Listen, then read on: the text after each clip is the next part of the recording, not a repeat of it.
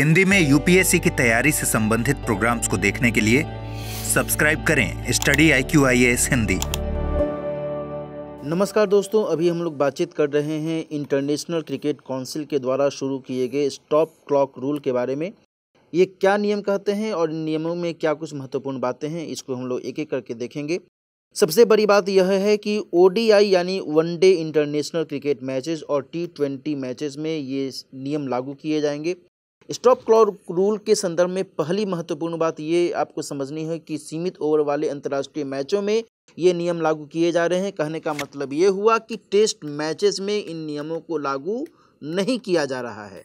इसके अलावा T twenty और एक दिवसीय अंतर्राष्ट्रीय मैच में ये नियम लागू हो ही जाएँगे। निश्चित तौर पर दिसंबर 2023 में प्रयोगात्मक स्तर पर इसे शुरू किया गया था और प्रति ओडीआई मैच में 20 मिनट की बचत इसके ज़रिए होने की संभावना देखी जा रही है। एक जून 2024 से ये नियम पूरी तरीके से मैंडेटरी तौर पर लागू किए जाएँगे। इन नियमों को एक एक करके देखें तो पहली बात यहाँ पर यह है कि पिछले ओवर की समाप्ति के एक मिनट के भीतर नया ओवर शुरू करना होगा।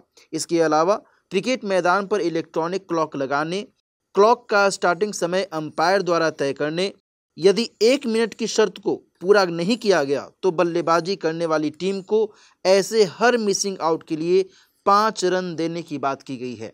इसके अलावा, इससे जुड़े हुए जो महत्वपूर्ण अपवाद हैं, उसमें पहली बात है, जब ओवर्स के बीच नया बल्लेबाज आता हो, जब आधिकारिक ड्रिंक अंतराल लिया गया हो, जब अंपायरों ने मैदान पर किसी बल्लेबाज या फील्डर की चोट का उपचार करने की स्वीकृति दी हो और ऐसी कोई भी वजह जिससे समय बर्बाद हुआ हो और वह फील्डिंग साइट के नियंत्रण के बाहर हो, इन सभी को अपवाद के अंतर्गत शामिल किया गया है। इसके अलावा, एक जो कंसर्न देखा जा रहा था कि फील्डिंग टीमें अक्सर रणनीति बनाने के लिए अधिक समय पाने और हर डिलीवरी के बाद फ़ील्ड प्लेसमेंट बदलने के लिए कार्यवाही को धीमा करने की कोशिश कर रही थी, इसी के एवज में ये स्टॉप क्लॉक रूल लाया गया है और अब तक टीम और कप्तान को केवल आर्थिक रूप से दंडित किया जा सकता था, जो इस प्रथा को रोकने में उतना कारगर नहीं थे।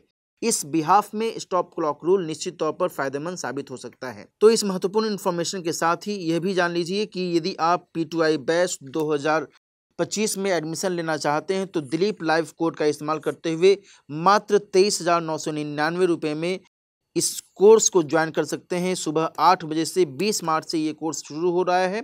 और निश्चित तौर पर यह कोर्स जीएस की कंप्लीट तैयारी के लिहाज से आपके लिए फ़ायदेमंद साबित हो सकता है। मिलते हैं किसी और प्रोग्राम में, अपना ख्याल रखिए। ऑल द बेस्ट हिंदी में यूपीएससी की तैयारी से संबंधित प्रोग्राम्स को देखने के लिए सब्सक्राइब करें study I Q I S Hindi.